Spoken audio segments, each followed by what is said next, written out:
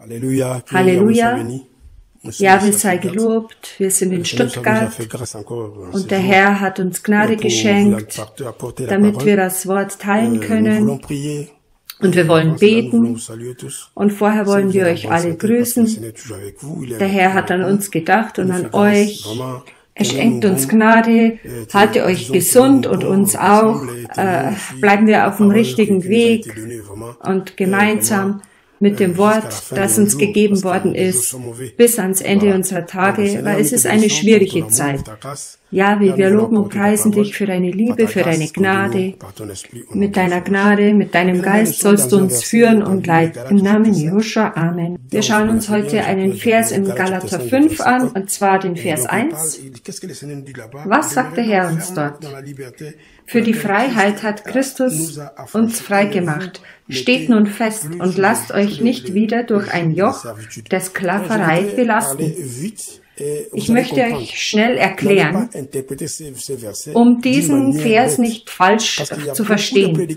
Es gibt nämlich Prediger, die diesen Vers blödsinnig auslegen und zwar ihnen zufolge heißt diese Freiheit, dass man alles tun kann, äh, mit einer Frau schlafen, stehlen, alles, was man möchte. Aber die Freiheit, die der Messias uns gegeben hat, ist eine Freiheit, die ihn sein Leben kostet, gekostet hat und sein Blut. Deswegen dürfen wir mit dieser Freiheit nicht spielen. Deswegen sagt uns der Herr hier, dass wir nicht mehr in diese Sklaverei zurückgehen kann. Zum Beispiel in die Sklaverei des Gesetzes, des zeremoniellen Gesetzes, die Sklaverei der Sünde, die Sklaverei der Übertretungen. Die Aufgabe der Abfall vom Gott, vom Glauben ist Sklaverei.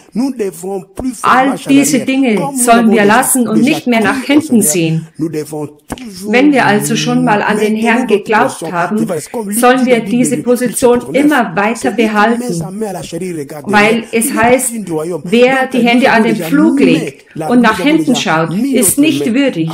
Wenn wir also schon den, die Hand an den Flug gelegt haben, sollen wir beim Messias, beim Maschia bleiben. Wir sollen in unserer Position bleiben und nicht mehr nach hinten schauen. Nicht so wie die Frau von Lot, die nach hinten geguckt hat na, und dachte, Sodom und Gomorra war viel besser als der Berg, der vor uns steht. Aber wir, wir sollen nach vorne schauen, auf unseren wirklichen Berg, unseren Retter, denjenigen, der uns alles ermöglicht hat, nicht mehr nach hinten schauen. Wir sollen also diese Befreiung, die der Herr uns geschenkt hat, bewahren.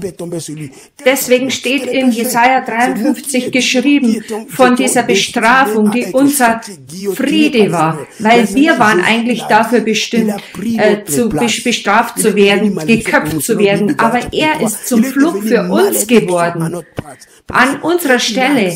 Und er hat alle diese Leiden äh, akzeptiert, damit du und ich, dass wir errettet und befreit werden. So wie im Römer 5, Vers 8 steht, als wir noch Sünder waren, ist er für uns gestorben. Deswegen müssen wir diese Freiheit bewahren, die er uns gibt. Es handelt sich nicht darum, einen großen Mund und kleine Ohren zu haben. Nicht jeder muss dir zuhören, was du zu sagen hast. Nicht das ist die Freiheit. Sondern die Freiheit ist folgendes. Er hat uns der jetzigen Zeit entrissen. Er hat uns der weltlichen Musik entrissen. Er hat uns der Sünde entrissen. Er hat uns dem gegenwärtigen System entrissen. Er hat uns entrissen, damit uns die Augen geöffnet werden und wir ein wahres Evangelium predigen. Wenn ihr sagt, ihr seid in der Freiheit, aber ihr äh, kritisiert eure Brüder und Schwestern, dann seid ihr nicht frei, sondern in der Sklaverei. Seien wir keine Heuchler. Das sind die Heuchler, die so handeln. Die heutige Gemeinde, die heutige Christenkirche ist sowas von heuchlerisch. Man lästert über diesen, man lästert über jenen. Und sie denken trotzdem, dass Gott mit ihnen ist. Sie sind Lügner, denn in der Bibel steht, wer Gott liebt, muss auch seinen Bruder lieben. Wenn wir also die Freiheit behalten wollen, müssen wir auch unsere Position im Maschia behalten. Seid bewahrt im Namen Maschias. Amen.